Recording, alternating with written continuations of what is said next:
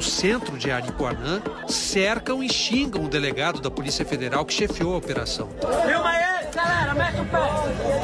Olha a cara do vagabundo aí. Vai tudo para os grupos virtuais.